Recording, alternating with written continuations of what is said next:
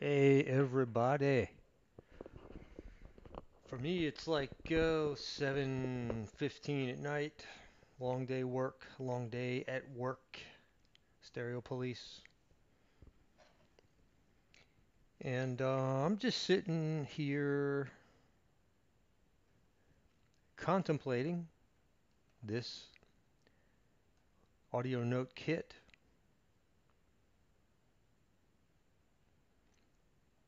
I made a video the, the other night about this and I'm kind of I was vacillating between the 2.1, 2.1 signature, and I finally landed on the 4.1.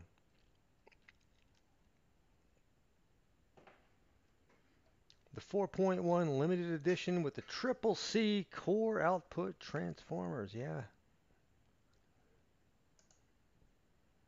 I don't know what the 4.1X is.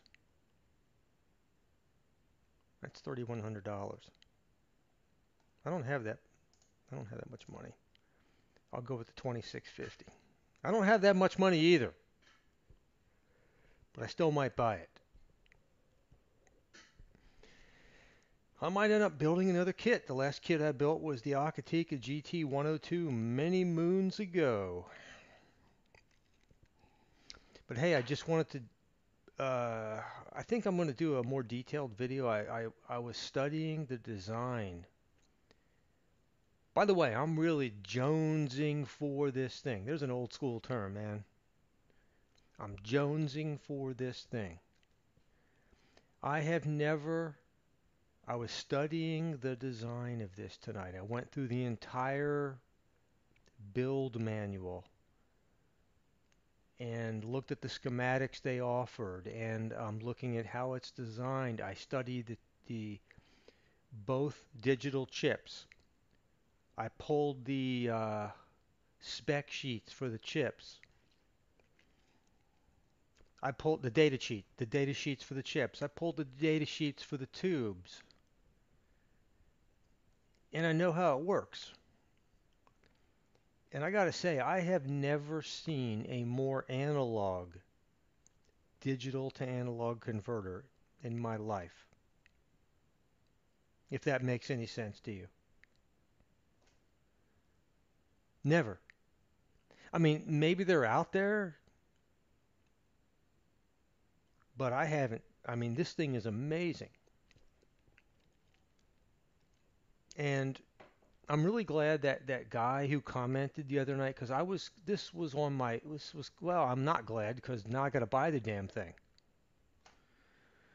This was kind of on a back burner. I've been looking at this for months now, and this guy who commented the other, and bless you, man, I love you, but this guy who commented the other night sparked my fire again, and I started looking at this thing.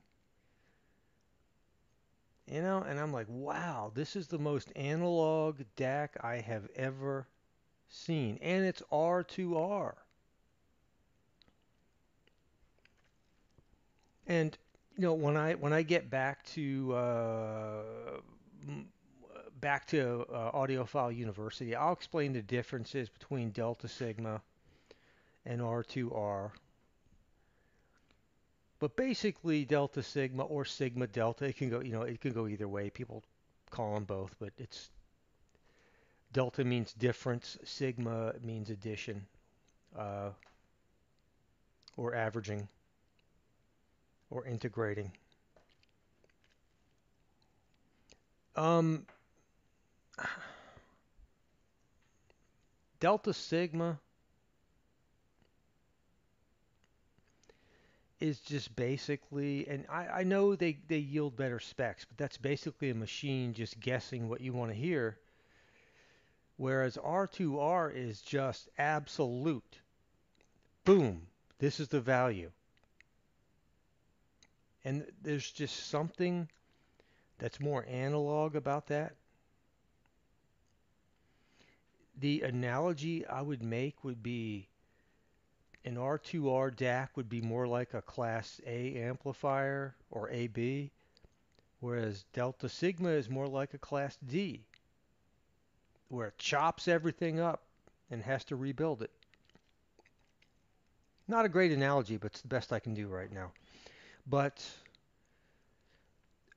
um, let me give you a quickie, and I'm gonna really, I'm gonna make a video where I tell you, I, uh, where I really dig into uh, what makes this special and why I'm jonesing. Um, yeah, yeah, it's a lot of money. I mean, you can get it. Uh, you know that that Yggdrasil I was gonna buy. That Schiit audio just didn't want to send me. Um, it's an R2R, but you know it's it uses it's got a you know, analog devices uh, chip in there, but everything before it and after it is just integrated circuits. Whereas this thing, man, it is just it's surrounded. The chip it uses is a fantastic chip, and it's just completely surrounded by analog. Not only analog, but vacuum tube and transformers. And the chip itself, damn, I wish I could get into it now. I wish I could really tell you why why this is special. I need to make I'm going to make a more detailed video, but the chip itself, let me hit pause here so you don't have to watch me phone for a round. Hang on a second. Okay, so just a, a quickie tonight, but your digital signal comes in and there's only really two major chips in here. Uh, the first chip, I think they're using a Cirrus Logic chip. And then here's the analog devices chip. Uh, the first chip, the Cirrus Logic chip, just uh, unpacks the SPDIF signal, which is just a carrier signal. It's like an airplane that carries passengers, and it just de- it just decodes all the stuff and extracts the zeros and ones that is the audio signal. Because all the DAC wants to see, the DAC itself, which is this chip right here, the analog devices R2R ladder DAC, all it wants to see is a stream of clocked, very accurately clocked zeros and ones that is the digital bit stream that represents the analog signal. So the Cirrus Logic chip um, is going to unpack the SPDIF signal and send it over to the R2R DAC right here. And the R2R DAC, which is uh, the analog device is 1865.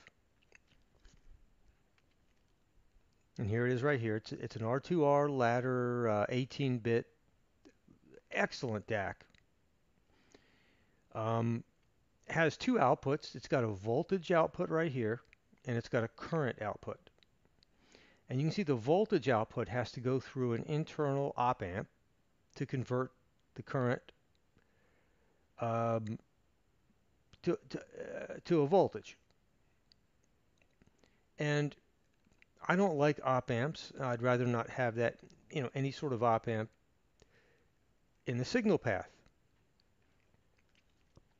So what this kit is doing is it is we're going up here to the reference and and then it is we're not using the voltage output we are using the we are using the current output directly from the DAC directly from the ladder.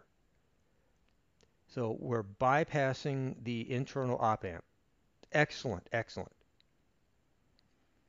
All right?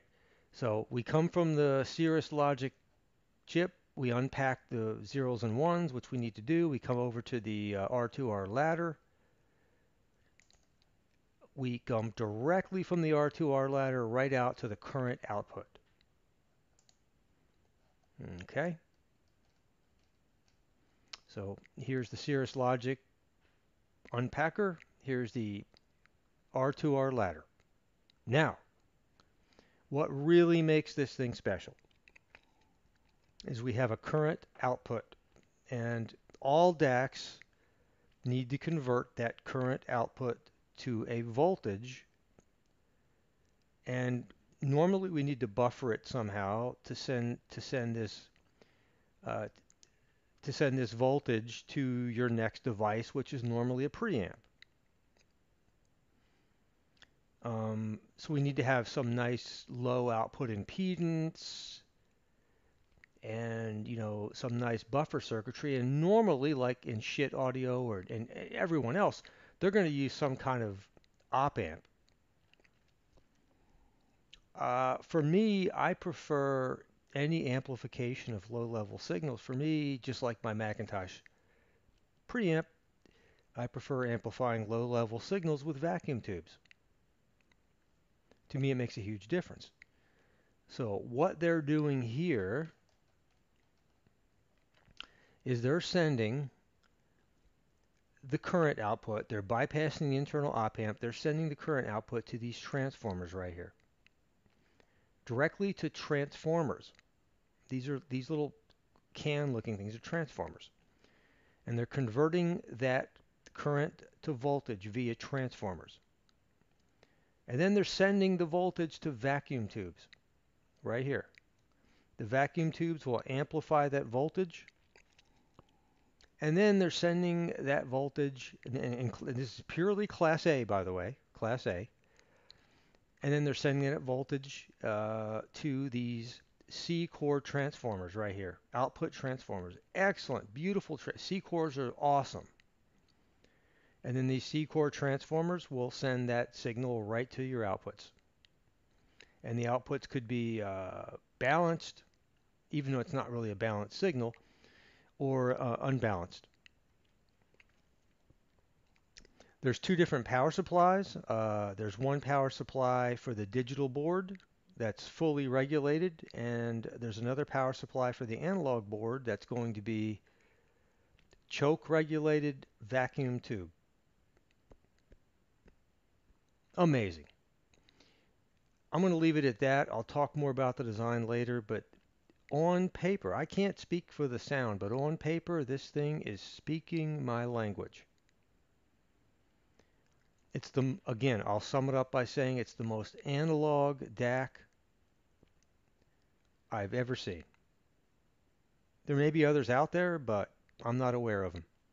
And at this price, and just looking at the quality that I see here, I've studied the DAC chip. It's fantastic. Um, it's just speaking every bit of language I've ever, it's everything I've ever thought that a DAC should be. That's why I'm jonesing.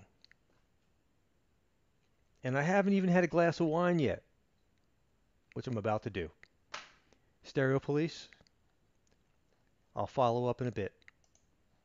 Ciao. Enjoy. I hope you enjoyed this. Over and out.